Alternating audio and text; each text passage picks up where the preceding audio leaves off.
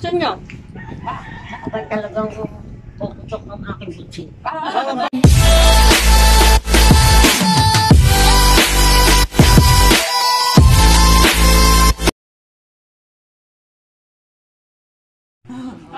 Hello, Inay.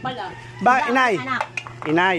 Nagulat ga kayo nung malaman yung may anak na si Xavier? ngay ngayon lang. Ngayon lang. Nag nagitla nga ako. Ano reaction nyo?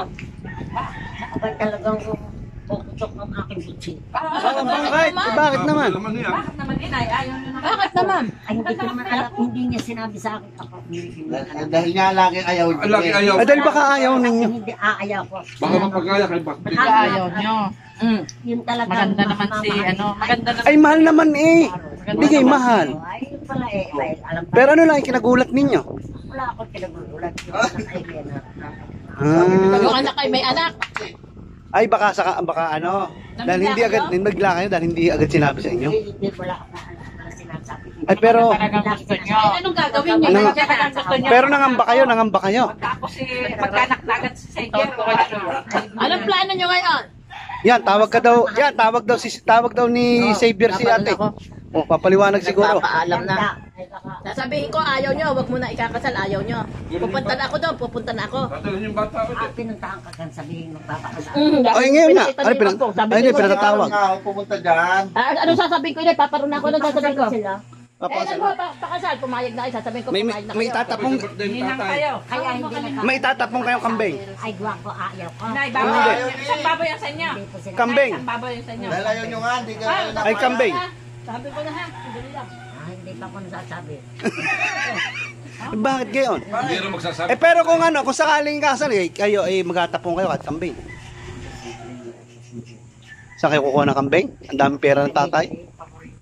Paborito nga po, ayaw nyo. Ang kasama nyo nung maliit pag sa pagtanda. Oo, pinapaipip. Pagpapasindi kayo ng sigarilyo, oh, Pero ipip. mali yun.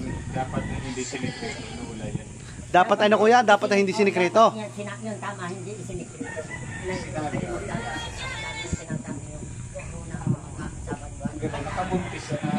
Ay, Inay, inay, si Sharon ang may kasalanan. ay pa, manong gagawin? Ay iwanan na lang ni Ibyong. Bakit? Ano? Ay di papakasal na lang natin. Yung minsan man din nila, yung minsan man din ni, ano, nagbubulong-bulungan sila. Yan na yung hindi ka na, ano.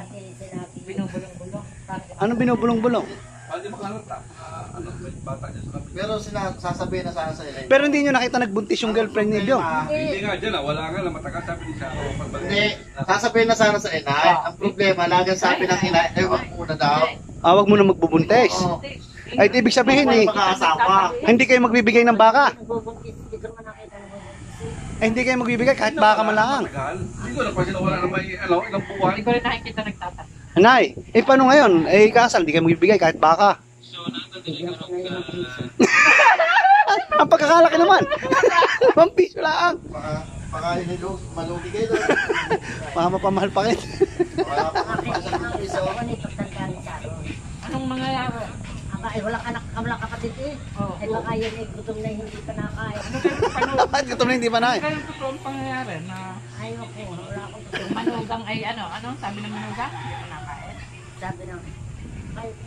Ano yun? Istorya yan? Istorya? Tunay? Oo, yun una totoo. namin mga tangga ng tayo. Bahay.